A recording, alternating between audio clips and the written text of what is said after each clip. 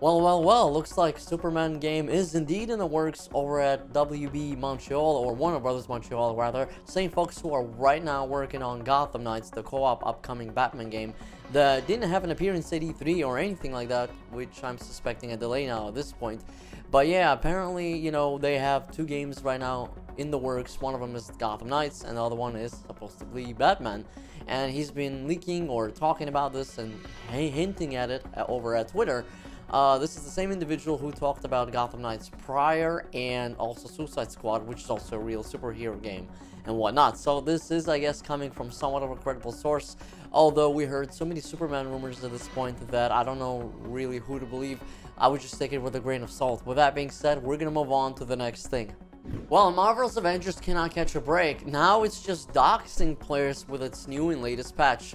The new content patch has a lot of cool stuff, but it came with a bug that basically shows your IP information, which is absolutely insane. So to put it in basically basic words, if you are streaming this game on Twitch or any other streaming platform, people could see your IP address and see where you live. And of course, knowing the internet, you're probably gonna get trolled and, you know, swatted and all that kind of dumb crap that goes on on the interwebs these days and people doing stupid shit.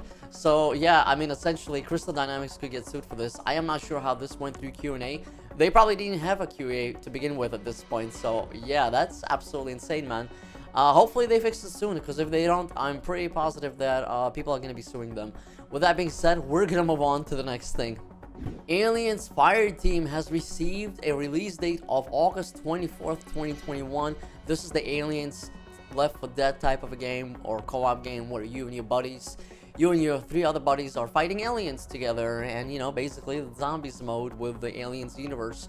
Looking pretty cool. I'm definitely to give it a shot. Uh, we were not sure when it was coming out other than 2021, but now we have a release date. It's August 24th of this year. So that's coming up in about a month and a half here, or actually, no, two months, a little bit more. Yeah, about two months exactly.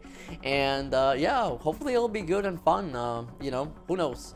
There's a lot of co-op games that are coming out this year, including Back 4 Blood, Dying Light 2, this, and all kinds of stuff. Really nice to see resurgence of co-op games. Uh, really enjoy those games, and I hope you do as well. Thank you guys so much for watching this. Please like, subscribe, make sure to, you know, turn on those notifications, and I will see you soon. Peace!